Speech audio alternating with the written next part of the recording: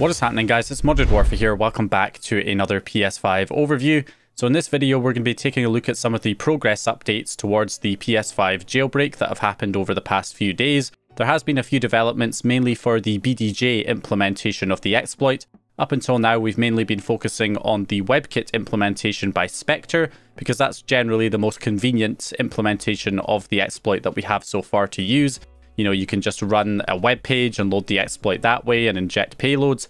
However, there has been some work going on recently with the Blu-ray drive exploit method, and we're going to take a look at some of those updates here in this video. So, first of all, we have uh, Hammer83 here, who has released a PS5 jar loader, and this has also been implemented into John Tornblum's BDJ SDK samples here, PS5 jar loader, as well as PS5 kernel data dump. So what we have at the moment is we have improved stability with the Blu-ray drive exploit, the John Tornblum version, as the Slayer's Gorvy one was pretty unstable, and I haven't really seen that many updates to make it more stable recently, but the, this one here from John Tornblum is pretty stable. I haven't had any crashes so far, and I've loaded the exploit a couple of times.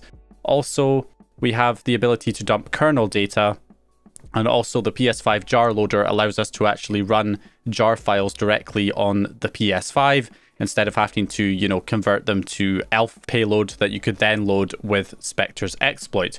So here you don't need to do that. You don't need to use the SDK to convert it to an ELF file. You can just load the jar files directly. So it has some benefits there as well. So we're going to take a look at that here in this video. I've already gone ahead and compiled these projects into an ISO and I've got a zip file here that I'll provide in the video description that you can just download. So we just extract it here. There's two ISOs. There's one for the jar loader and one for the kernel dump. And that's another thing I forgot to mention as well, is that this will also load the debug settings, just like Spectre's exploit. When you load it, it will just automatically enable the debug settings for you. So that's been added to this kernel dump ISO as well. So all we need to do is extract this ISO out here. And we're going to go ahead and first of all open up ImageBurn. So to actually get the exploit running, of course, it works with a Blu-ray disc. So you need to insert a blank Blu-ray disc into your computer and then go to write image file to disk. You drag the ISO into ImageBurn here and make sure the file system set to UDF 2.50 and then you should be good. We've got our Blu-ray disc inserted. Preferably you want a Blu-ray rewritable disc, which is a BD-RE disc, which means you can write to the Blu-ray disc multiple times whereas the regular BD-R disks are only writable once. Once you've written any data to that disk, it cannot be written to again. So preferably you want the rewritable disks, the BD-RE disks. They do not have to be dual layered disks. I have heard that rumor somewhere. Uh, that's not required. Just any, you know, regular Blu-ray BD-RE disks will do. And then we can just go ahead and click the button to write the image file to the disk. We'll click yes. And now we're writing the kernel data dump ISO to the disk. And of course, this works on the same firmwares as Spectre's exploit. So, you know, all of those firmwares that seem to be supported on Spectre's exploit should work here with this as well, up to firmware 4.51. So what we're going to do now is eject the disk and put it into the PS5. Okay, so here we go. So if we switch over to the PS5, you can see I don't currently have the debug settings enabled.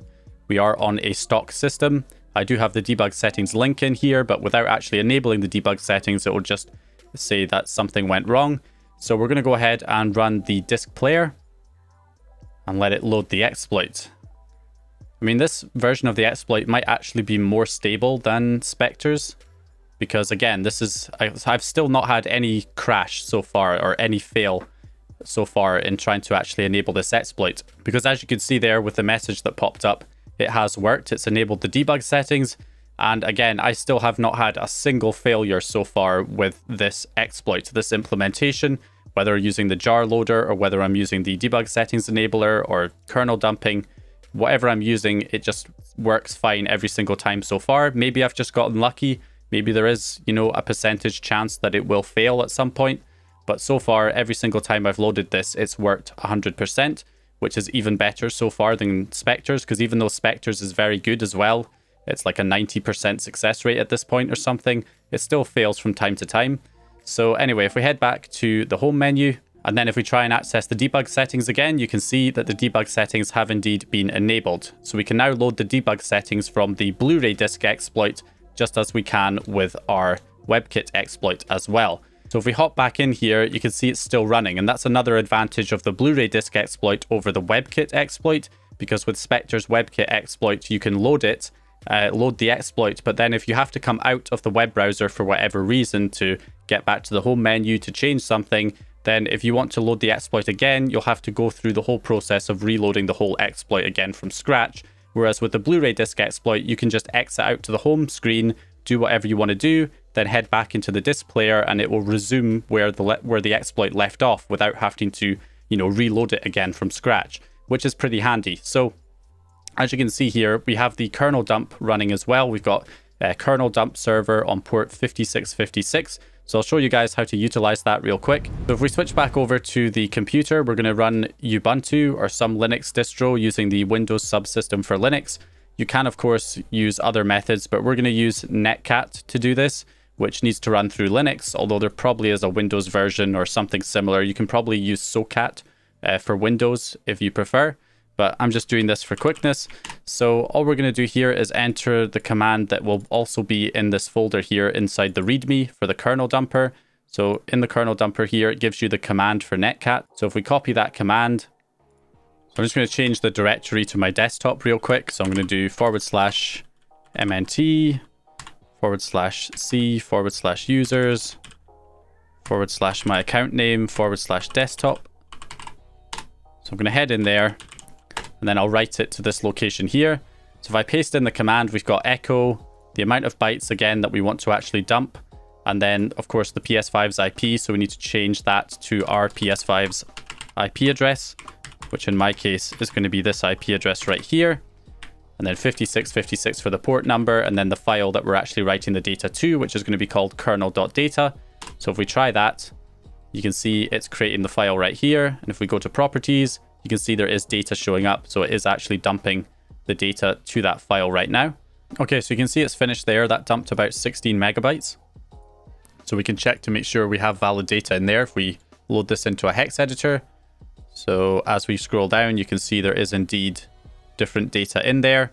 So it has successfully dumped that portion of memory, that kernel data. So we do have the ability to dump the kernel data here with the Blu-ray exploit as well, which is one of the first things that the uh, WebKit exploit from Spectre implemented. They had a RPC server for reading and writing, uh, which wasn't very stable. And then they also had the kernel dumping uh, portion as well.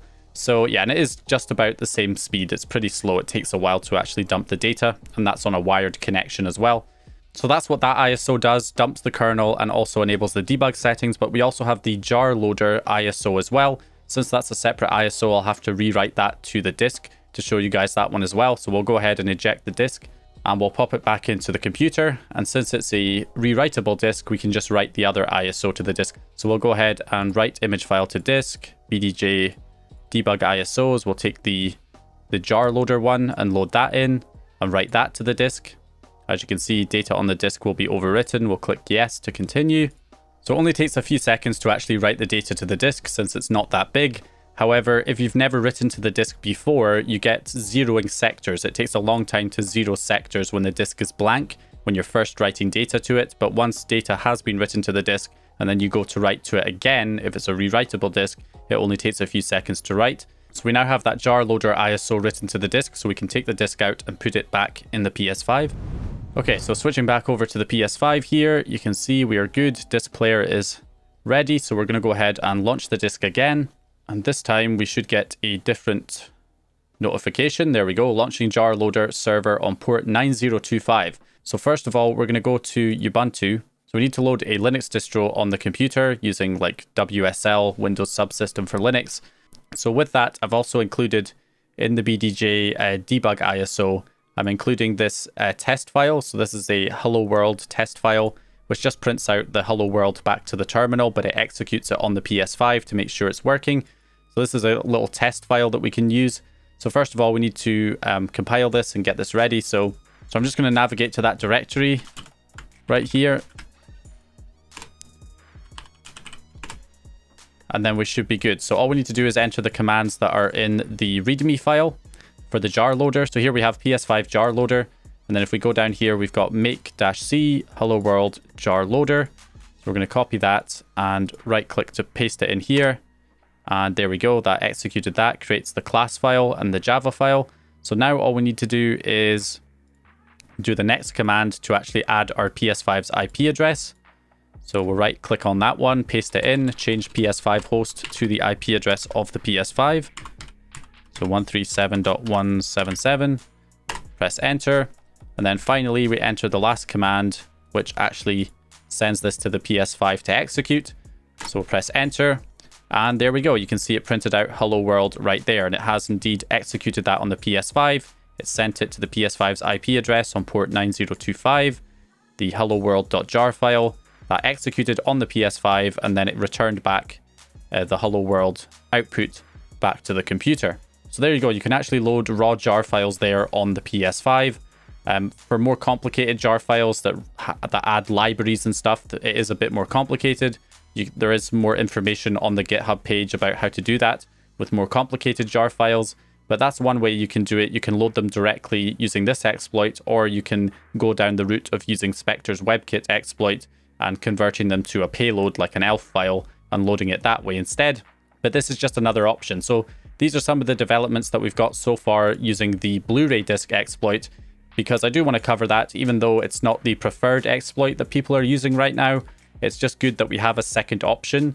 Uh, and, you know, you never know. The Blu-ray drive exploit, the userland exploit, supposedly more powerful than the WebKit exploit. So maybe some more things could be done with this, with this exploit in future that perhaps might not be possible with the WebKit version. So it's always good to stay on top of the Blu-ray disc exploit as well, even though most people are using the WebKit version for now anyway. So that's what we've got so far. We've got a more stable Blu-ray disc exploit that can allow you to load the debug settings, as well as a jar loader for executing jar files on the PS5, and a kernel data dumper as well, all built in, and potentially more coming soon. So, so hope you guys enjoyed this little update. If you did, please leave a like and subscribe, and I'll hopefully see you guys in the next one.